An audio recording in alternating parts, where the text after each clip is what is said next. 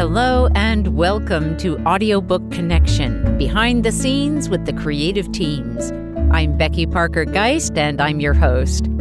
Audiobook Connection is your place to learn about the audiobook creative process and for authors to learn valuable tips on producing and marketing your audiobooks.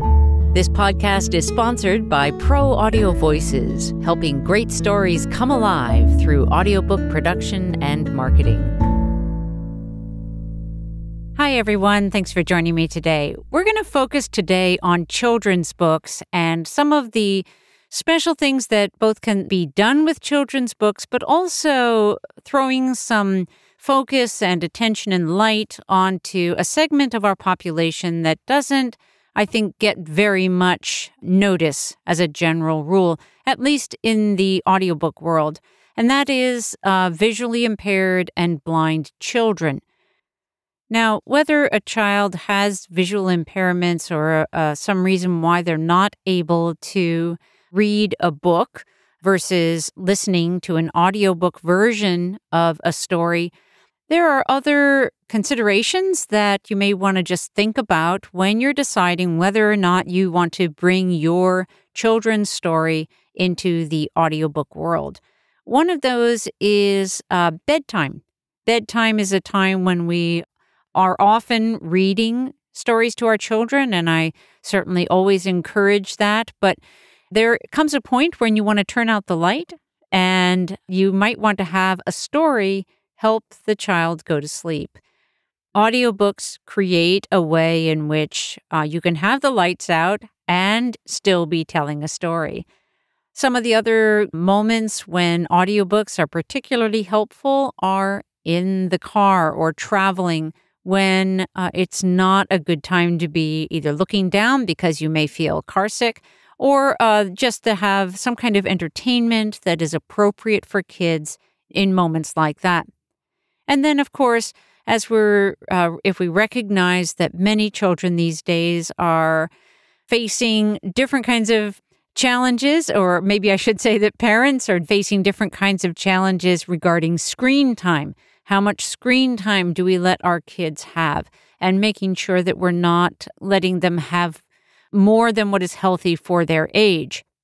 This is another way in which children's audiobooks can really serve, can provide some entertainment, some, but also some really good learning time with um, the telling of stories, the sharing of content in an audiobook context. Additionally, let's think about the fact that the trends in the world, really just the globalization of our societies, really brings up the opportunity for children's books in multiple languages to be all the more valuable, all the more important in these times.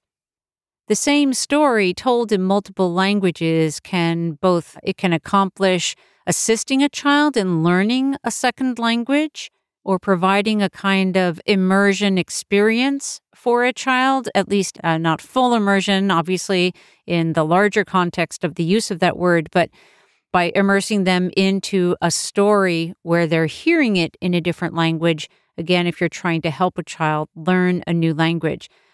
And I want to take a moment to focus on this particular question for a moment this issue of translation of a children's book into multiple languages. One of the cool things about this opportunity is that while translation is a kind of a high art and something that to be able to, to really properly translate a story effectively and to communicate the style and tone of the author in more than one language. It is therefore an expensive cost as a general rule. So, but translating a full length novel is a much more expensive process, obviously, than translating a children's book, which is going to be much shorter. For this reason, translating kids' books into other languages becomes much more affordable. Also, with audiobooks, since you're not having to deal with illustrations and layout in more than one language, that is also going to help mitigate some of the expense of having your children's book in multiple languages.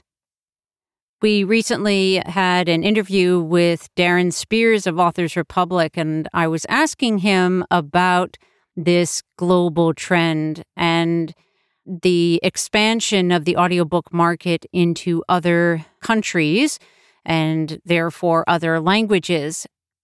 It was really clear in that discussion that getting your book translated and recorded as an audiobook in multiple languages is a really good idea. If you already have your children's book illustrated, there are some additional things, uh, opportunities that are opened up to you that I wanted to bring up as possibilities for you. Uh, one is to actually create a video using the illustrations from your book as slides and then having the audio from your audiobook narrating your video.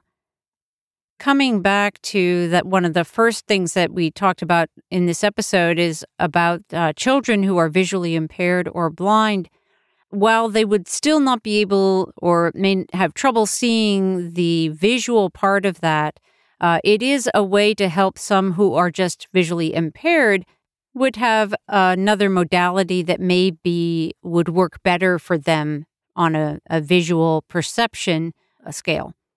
Just to acknowledge that if you were to do that, you would be essentially making your video available, your content available for free, that you would want to factor that into your overall marketing for your book, your audiobook, and to consider whether that is something that is a good fit for you or not.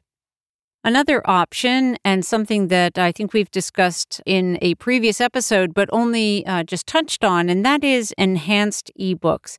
Enhanced ebooks are basically these kind of read along ebooks, very similar to a print book, but in a in a digital format where you turn the page with a swipe and you typically and you see the image and often there is highlighting where the words are highlighted as the child or as the audio proceeds so that it's kind of a read along process.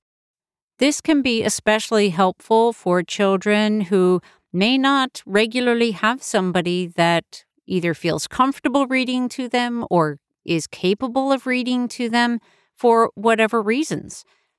I will say, however, that as a general market trend, the enhanced ebooks of this kind have not really taken off the way many people thought that they would. And if you were looking at it as a, a way to earn a lot of money from your children's audiobook or ebook, this is probably not going to be one of your best options because the additional cost of creating it, generally, it's hard to make up that cost on the sales side of things. But for some people, it's just exactly the right thing that they're looking for. And so it's good to be aware that that is an option. Something else to consider, and this is particularly for books that you would like to make more accessible to children who are visually impaired or blind, and that is illustration description. This is particularly valuable when you have illustrations that are adding content that is not in the text itself and that you feel like really add to the story but is not in the text. So, what we're talking about here is essentially writing up a description of the picture and then having that narrated. This in itself is a bit of an art because you're really trying to select the elements of the picture, the aspects of the picture that are adding value to the story. For example, you might have a picture of a red apple sitting on a table. Is the color of the apple important in the context of the story? Or is it how it's sitting on the table? Is it right at the edge of the table where maybe some mouse is going to climb up the leg of the table and and it wiggles so much that it tips over because it's right on the edge. So you want to consider what is it about the illustration that is adding that extra story component and have it described accordingly. If we were to pair that idea with the video idea, and if you are using your, if you're creating a video using the slide illustrations from your book and the audio description and the text of the audiobook, and then you add in those descriptions. So then you really have a resource that is more accessible for kids who are blind or visually impaired. Another thing to think about and do some research on is do some searching on uh, platforms, organizations that are looking for resources for this population. Find out what they need. What are they looking for? How might you be able to serve as an author of a children's book? So, those are my tidbits of thoughts for today. I hope that I have been of some help in thinking about your children's book and ways in which you might get your story out into the world to more kids who are in need, more kids who are looking for great stories to listen to, and to the parents of those kids who are looking for these kinds of resources. I hope this has generated some new ideas for you in the world of children's audiobooks. If you would like to talk about your audiobook, please reach out to us at proaudiovoices.com. I'd be happy to talk with you. Have a great day. Thanks for joining us for Audiobook Connection Behind the Scenes with the Creative Teams. Please take a moment to subscribe at audiobookconnection.com. The podcast is sponsored by Pro Audio Voices, helping great stories come alive through audiobook production and marketing. Learn more at proaudiovoices.com. Again, thanks for being with us, and please join us next week.